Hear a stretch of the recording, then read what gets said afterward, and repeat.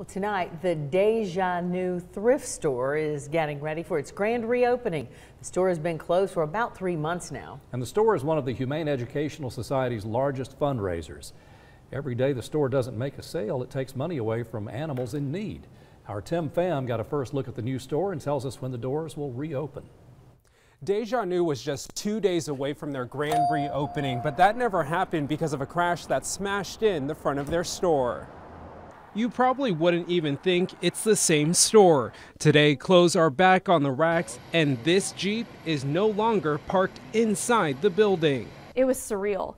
Um, especially because we had just closed for a week to get everything reorganized the week before. A driver at the Baskin Robbins across the street crossed six lanes of traffic on Highway 58 in reverse and backed into this store. Police say the driver is okay and the crash was accidental but the store was left in bad shape. There was structural damage and a good portion of the merchandise was destroyed. We had to rebuild our storage room that was in the back. We lost a lot of clothing as well because there were glass shards and, and brick everywhere.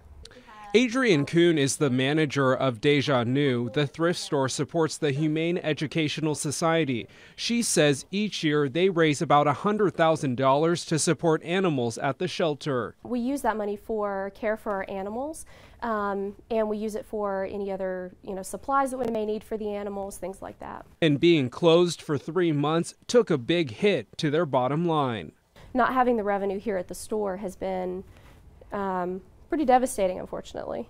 In some ways, the accident has been a blessing in disguise. Today, the store has a new entrance, carpets, and energy efficient lighting that will save them money in the long run. And the community pitched in to help even when their doors were closed. People that called after the accident happened, they've held on to their items for three months, so they can give them to us. The thrift store plans to reopen on Tuesday, March 6th. Right now, they need volunteers. If you want to help, just click on this story inside the WRCB app.